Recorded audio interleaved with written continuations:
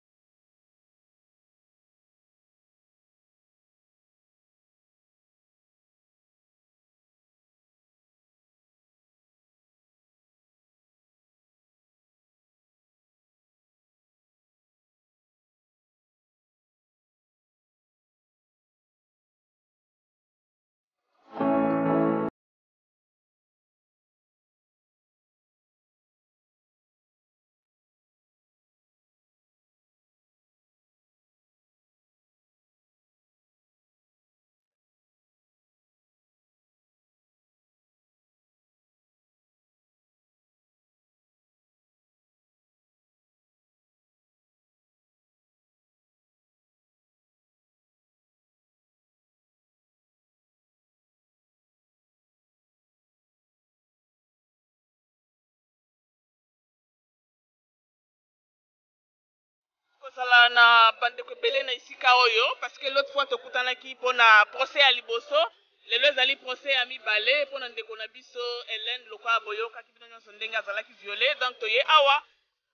Malheureusement pona mokolo mua lelo procès yango ezali reporter, disons audience eza reporter, mikolo ekoya toko pesa bino suite ya makambo nionso ndenge ozo leka. Merci. Merci Mia Tembo pona micro opesi nga. Toye lelo toye pona ko soutenir kaka pona petite Helena. Alors yango toye mais il parait que procès eza annule vu nombre ya population bayaki donc c'est ça quoi. En plus, euh, tozo ko dénoncer, il faut kolobela makambo ba violation entre nous les filles congolaises, pardon. Euh, bolingo faut ezala. Eloko na kosenga bolingo faut ezala. Faut tolingana, tozala unis.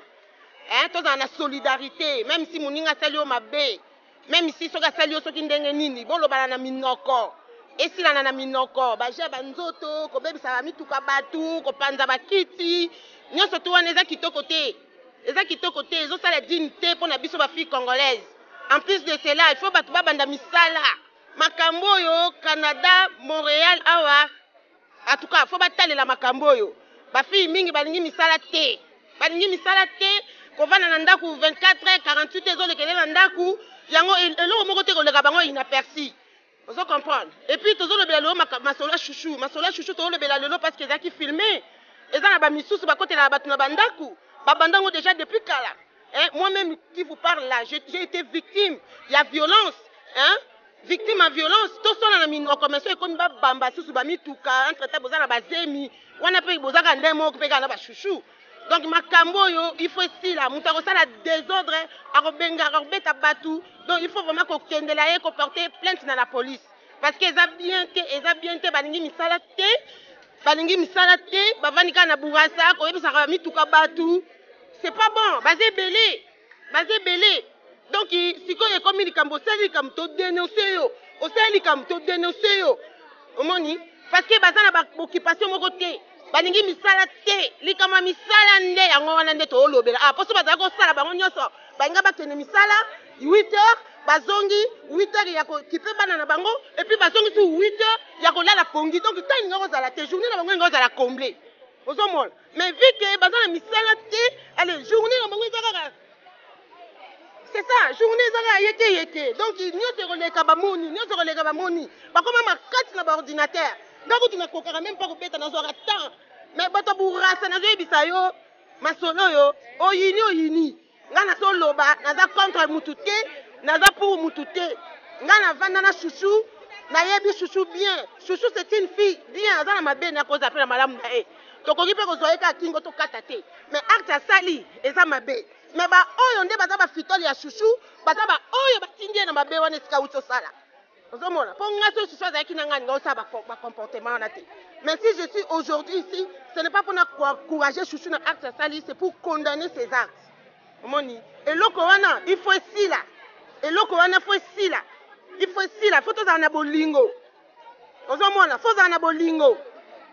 ozomona baza ebele ya nsima chouchou baza ebele nga kutu na ntango na facebook na nga na sita na bakombo na bango baye baboma motuka na ngai Hein? C'est quoi ça? Pona nini toko koma ti na niveau wana? Pourquoi? Pourquoi? Mutema mabe pourquoi? Kende musala okozwa capacité osomba eloko nyonso mutema no elingi. Hein? Lelo bozo ya pe bozo ya pe ko soutenir pe mutu pe baza awa. Moi là ça m'énerve. Merci Mia Tembo, merci beaucoup. Je m'appelle Nathalie. Euh, en fait, on était juste ici pour euh, assister à la comparaison de chouchou. Et euh, d'après ce qui est arrivé, c'est qu'il n'y aura plus comparaison aujourd'hui. Donc la journée, ça a été ajournée au 21 juillet. Et le 21 juillet, ça sera fait que par vidéo. Donc ça sera quelque chose d'environ 5 minutes. Euh, la défense a demandé pour un ajournement pour qu'ils puissent encore avoir plus, euh, qu'ils puissent eux se préparer davantage. Alors le 21, lorsqu'ils vont venir, c'est pour demander et faire une date, mettre une date euh, pour une autre comparaison. Donc c'est ça en fait. On n'a pas pu assister à, rien de, grave, mais on était nombreux. C'est déjà une bonne chose. Alors je félicite la communauté pour, euh, être venue de partout, de Toronto, de Montréal. Euh, donc beaucoup de gens sont venus. vraiment, je félicite notre communauté. Alors on va attendre pour des bonnes informations pour voir le jour vraiment qu'il y aura comparaison et puis on va partir de là.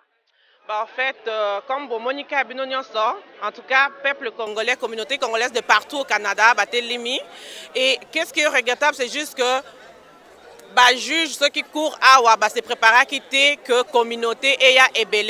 Et là, en ce moment, comme procès est annulé. Et le 21 juillet, elle va passer juste devant Caméra et Moutaoya été Qui fait que moi, en tant qu'une femme, parce que toyei kodononce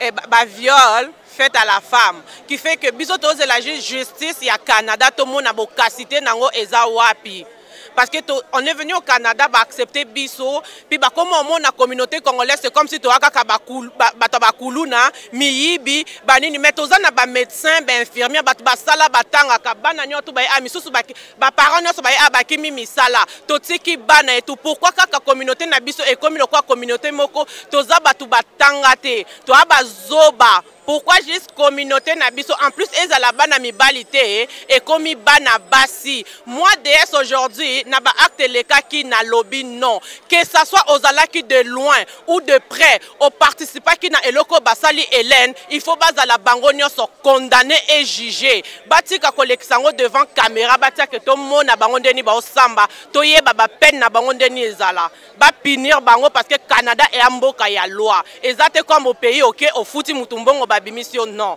na Canada ezala bongo te soki ba makasi ozwa ba juge ya bien bazwa mais justice il faut esalama non à la violence faite à la femme. bonjour à tous. Euh, nous sommes ici, comme vous le voyez, avec tout ce monde. Malheureusement, la session n'a pas pu prendre euh, place aujourd'hui parce que d'après les juges, ils n'étaient pas préparés pour un si grand monde. Mais nous sommes quand même contents de voir euh, la manifestation de tous ces Congolais, ce monde qui, qui est venu pour dénoncer cette violence, dire non à la violence.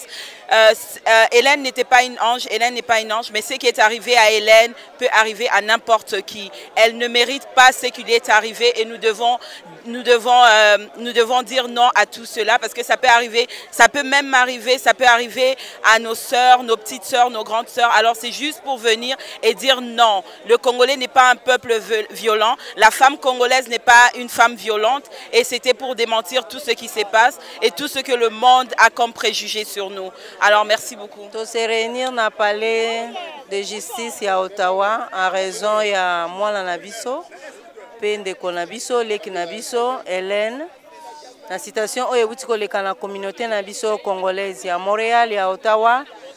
en tant que ba maman ba responsable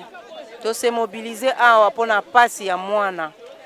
tozali ba maman tokoki ko accepter eloko oyo esalama na communauté na biso te pamba te ezali soni mingi ezali soni donc toyaki lelo mpo na kolakisa ete tozali contre agression sexuelle oyo eutaki kosalama na mwana na biso Na yango wana tokosenga na bana na biso mosusu batire leson na makambo oyo esalemeli mwana na biso Helene, mpe tokosenga na bakonzi ya mboka oyo bakoka kosala justice na bango parce que ezali mboka ya bato ezali na mibeko na yango balwa na yango ezali fo toyebaka korespecte yango malheureusement tosanganaki lelo biso touti misika libanda ya mboka toye mais cours eza annule vu que tozali tellement nombreuse bakoki kosala eloko moko te mpo na lelo bareporte yango le 21 nde ekozala par video to remercier tout le monde quand même na ndenge toye kokutana en tant que bamembre ya communauté congolaise ya ottawa mpe ya montréal donc euh, ezali mpasi mingi komona biloko oyo biso tomonaki na kati ya bilili mpasi mpe mawa na bambula oyo biso tosali na bamboka oyo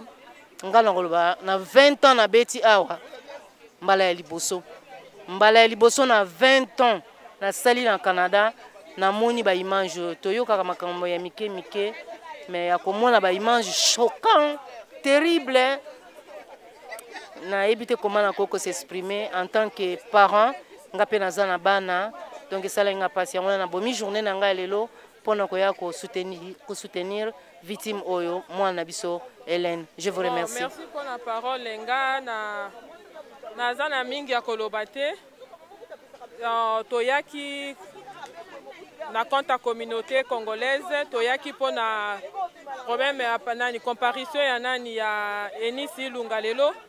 toyaki toza pour mutu te toza contre mutu te mais toyaki juste mpona to dénoncer ba acte na ye asalaki vraiment c'est pas humain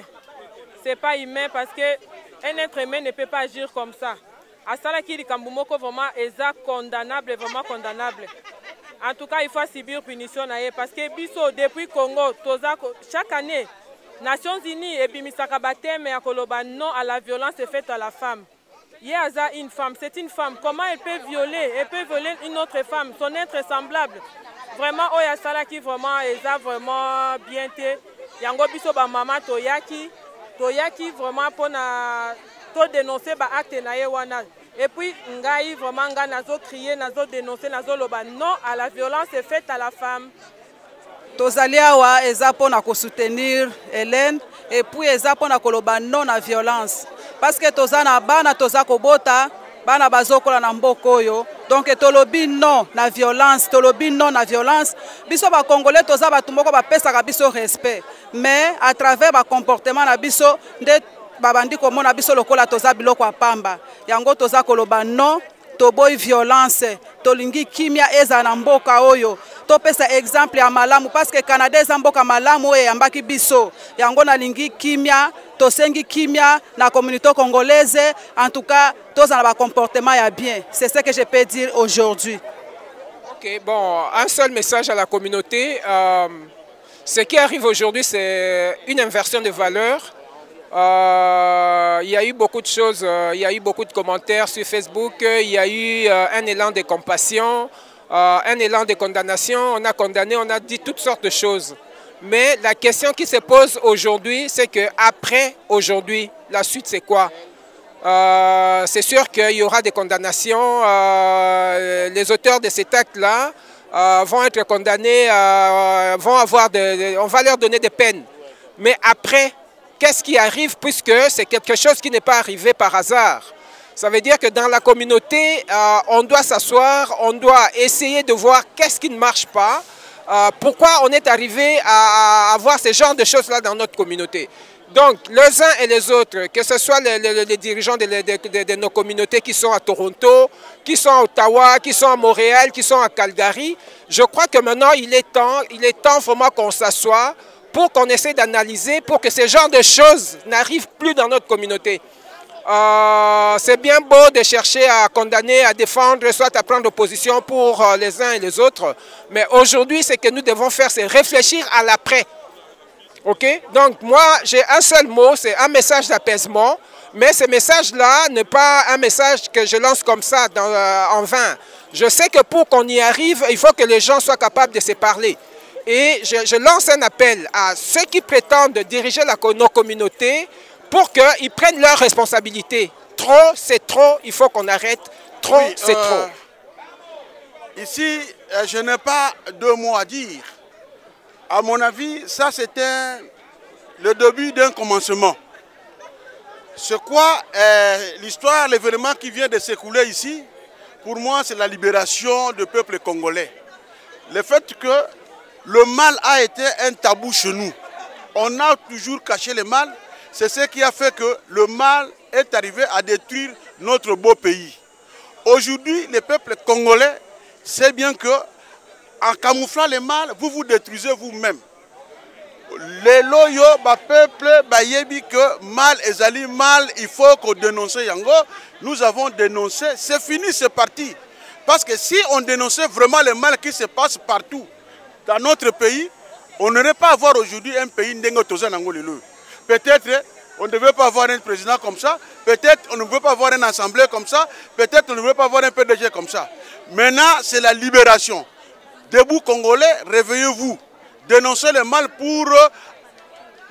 améliorer notre situation qu'on est tenté de se plaindre tous les jours. Nous devons continuer à dénoncer. Ce n'est pas fini, mais ce n'est pas ça comme mal seulement. Il y a beaucoup de mal que nous allons continuer à dénoncer. Arando ebomi makambu na ndenga sosa wilki kra mais 10 ans de prison. Ata bogangi ata bolobi justice awasala musala nango. Mutu na mutu ana mabe na ye litu etumbwa mutu. batika nzambe ajuge enote ke biso population moto ya moto aloba na ndenge na ye toyaka moko koluka soki oyebi objectif no toyaki kosala na canada litomba na yango yango wana donc baoyo mpe batikali libanda batalaka ate ke ye asali mpo baoyo mpe baya libanda basalaka kaka donc histoire nano esili te donc oyo toomona lelo tomoni bato ya lobi toyebi yango te moto ayebi yango kaka eza nzambe justice asala mosala nango babaki affaire arando 10 ans de prison na lelia ingeta ah, je voulais juste faire un petit mot euh, c'est sûr que ça a été ajourné aujourd'hui mais je comprends par là que euh, Elekeli euh, Justice canadienne, ils ne pensaient pas qu'il y aurait autant de monde qui vont venir. Je suis très contente d'avoir vu autant de gens à cette audience. ça démontre quand même que les gens ont été touchés. Et ça, makambo esala maté na communauté nabiso. On n'est pas habitué à ce genre de violence. Surtout la violence d'une femme, d'une mère, d'une yaya, d'une maman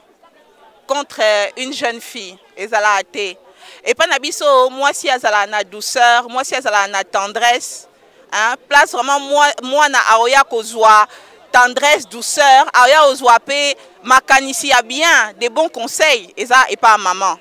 maman asalaka boye te epa mwana mwasi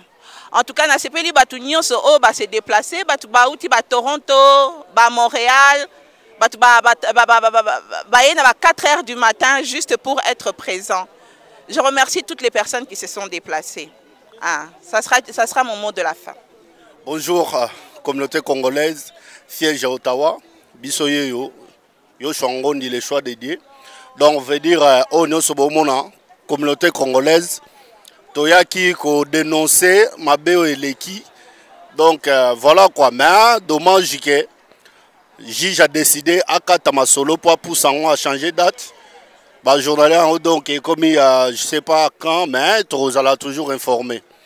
on est ensemble toujours together donc euh, voilà quoi yango wana napesi peuple congolais partout bacongolais bozwami bambote ebele bambote ebele donc euh, c'est ça ottawa ici c'est gombe quoi merci nkolo apambola tozala toujours bomoko bolingo eleka nyonso place ke place bolingo eza place reconnaissance eza bamakambo oyo ekozalaka jamais ntango bolingo eza te yango wana tokobanda kose retrouve na babétise ya boye euh, donc voilà quoi babobard te et puis bato baoloba bamakambo na bafacebook s'il vous plaît todénonce tokondane acte ya ndeko na biso me to généralise te parce que ntango oloba motu boye motu boye eza na bapreuve mpo okweyisa ye parce que toza na bamboka loi aussi longtemps que botanga mutu bobakisa mutu moko moko moko chaîne finga ezokoma molai donc eza propre te mpo na communauté na biso toujours voilà tout ce que j'avais à vous dire napesi bambote ebele partout congolais ozwami congolais congolaise bagros bisous toza ensemble Ah, ba salutation na ye moko grand prêtre mère Jenny Mondele balobi mm, ya yo na nga bakota te po toza toujours pe toujours together. Ah, Merci. En tout cas, Mia Tembo eza esengo mingi komona penza présence ya IC News na kati ya Ottawa. Tosepelaka mingi parce que olashaka te. Mais soki mpe motuna soki mpe motuna te mais est-il que awa tozali devant tribunal na kati ya ottawa toza na maison de justice ya ottawa toye eza mpasi eza mpasi mpo na monde oyo lelo tomoni awa na ottawa nayebi te soki trois autobus eza na, na, na, na, na ebombami kuna monde oyo tomoni lelo awa en tout cas biso bandeko na bino babundeli bafourmi rouge bapatriote combattant ya canada elekeli biso parce que tokamwe vraiment ise news bon En résumé, masolo penza ebetami te ya chouchou na donc to se retrouve awa parce que toyebi ete masolo ya chouchou na il fallait penza ezala lelo oyo bayebi te bayeba ete chouchou na azali actrice principale auteur ya dega oyo euti kosalama awa na ottawa crime oyo euti kosalama awa na ottawa eh, avec eh, chouchou na oyo bakangaki mwana na biso leki na biso mwana okutu ya bango na kombo ya Elena oyo aza na 21 ans ba mama mikolo ya 40 ans plus bakangi ye ba sequestre ye balongoli ye bilamba basali ye nyonso bakoki kosala bazwi bomoni ba biloko nyonso wana ememi lelo ba congolais biso nyonso na tribunal na kati ya Ottawa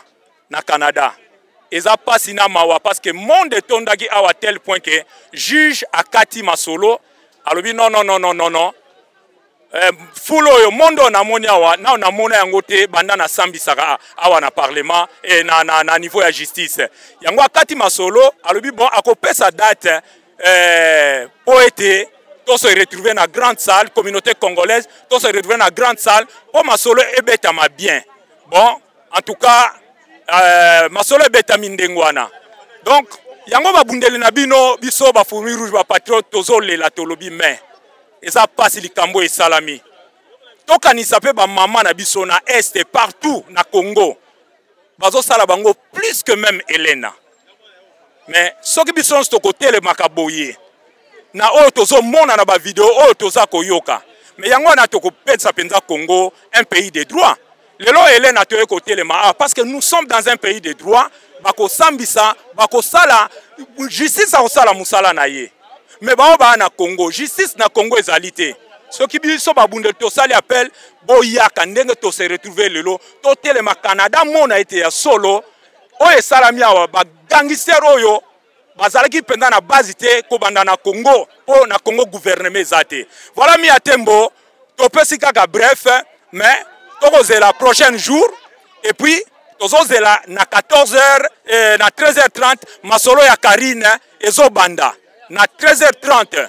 et ya Sandrine ezobanda biso tokozala wa ntina pokwa mpo tozotravaille en collaboration na baservice nyonso ya enquête mpo vraiment tokanga baoyo nanu bamonani te soki bakoya kose présente te tozotravaille mpo tokanga bango mais masolo ezokende bien mi ya tembo tozali awa na kati ya 613 bataillon na babundeli nyonso euh, et puis na communauté congolaise oyo likambo oyo inquiété bango et dérange mpenza communauté mobimba montréal eningani 514 bataillon eningani toronto na 416 bataillon eningani tomoni ba olivier bolia bazonyata sete longonya ba fourmi rouge na kati ya 613 bataillon toza biso nyonso debout mpe tokosala mosala okino na suka nayebi te soki père double okoki obakisa na ise news eh, mwa message na makambo elekeli awa ah, yo outi na kati okay. mbote mbote to bana congo bino mbo bomoni makambo ndenge ezoleka lelo ezalaki mokolo ya chouchou mpe ozala ya sandrine donc makambo ndenge ezoleka ndenge balobi na kati kuna ezalaki bazwa na preuve na kati ya makambo yango soko bazwi preuve nde bakorelate makambo nyonso ndenge esengeli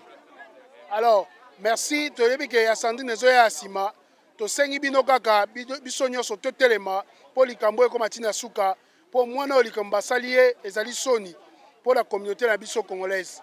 donc tosenga ke biso nyonso tosangana mpo likambo ekoma ntina suka mingi ya koloba ezali te tozozelaka jour ya procès mpo basambisa bango comme il faut baloba oyo likambo oyo basalaki ndenge ebandaki mpe ndenge esukaki donc merci mia tembo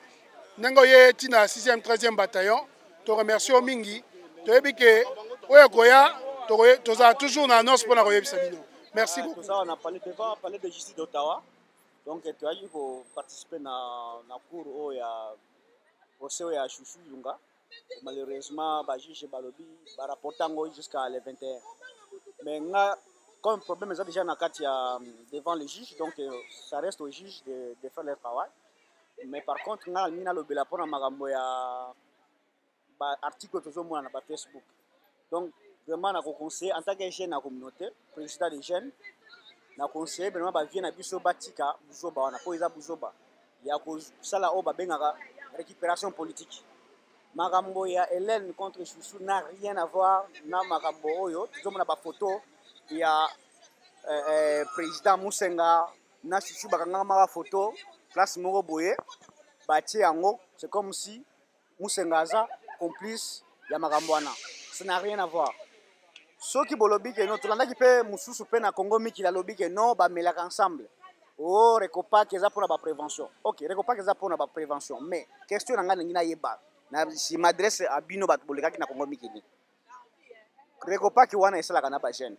Soki bobi eza pona prévention. Sikoyo ye chouchou ana âge nini?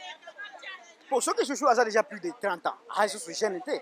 Alors comment voulez-vous dire que non? Oh non, eh, Recopac esalaka ba prévention te. Donc botika buzoba wana ko instrumentaliser dossier wana. Donc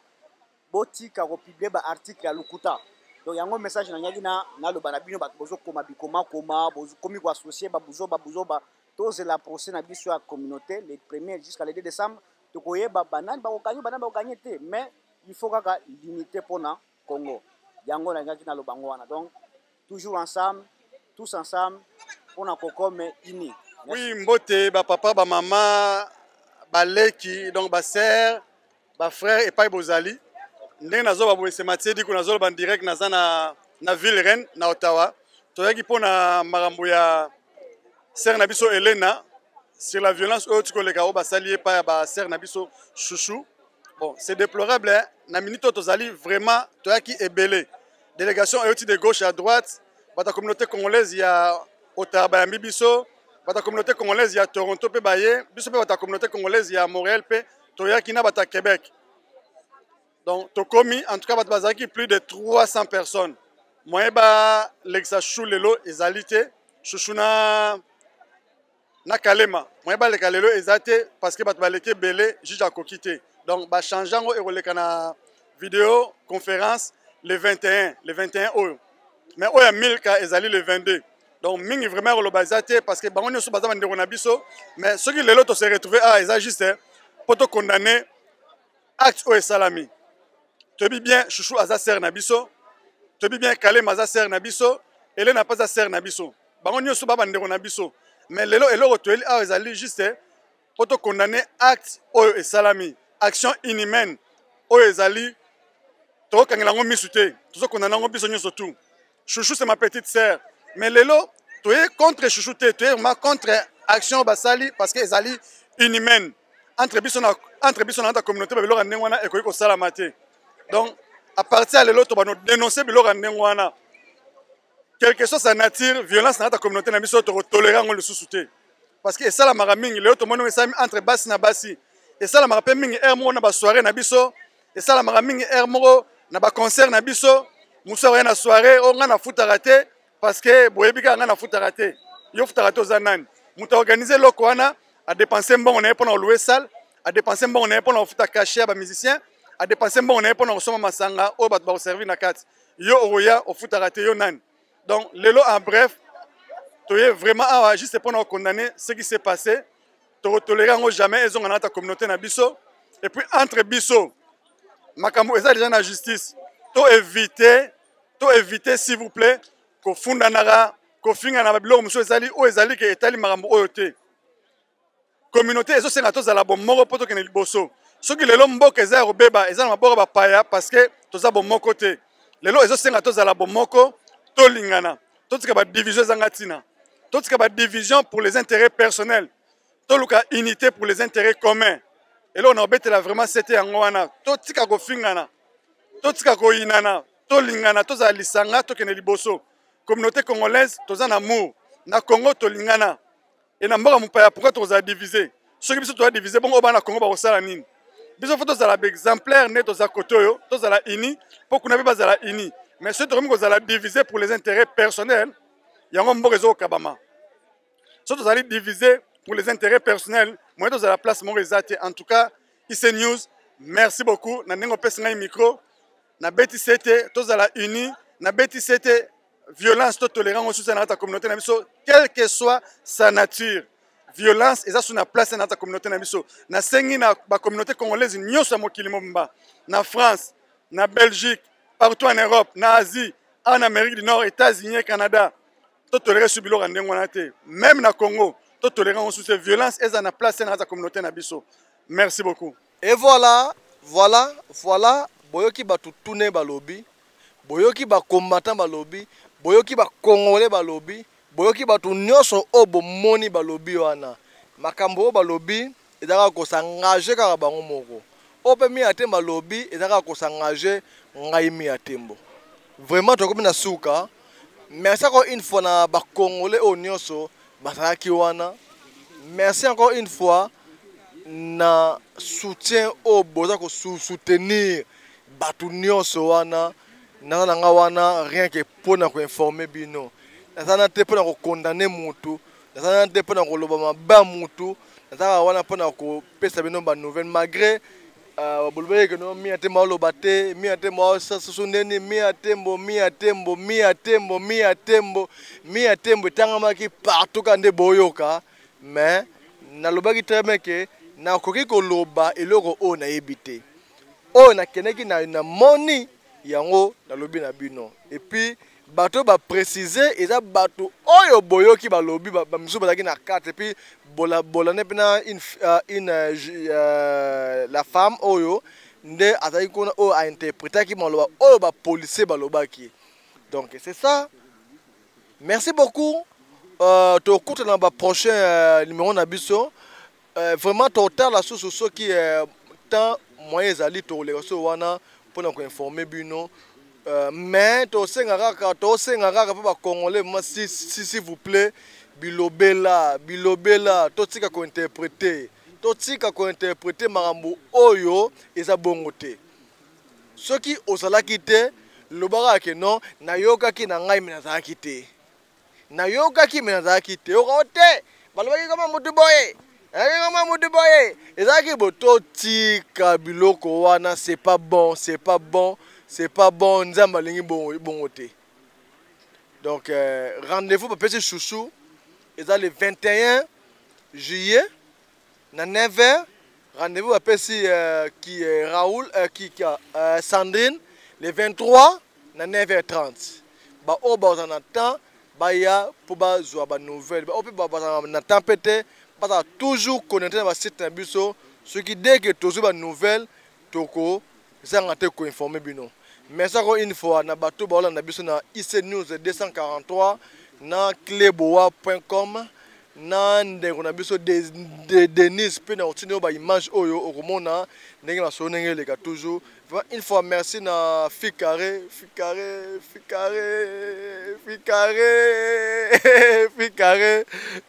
Fit carré, merci encore une fois na Gabi et l'amour, Kane Bomona, merci encore une fois na Coco Chanel en Merode.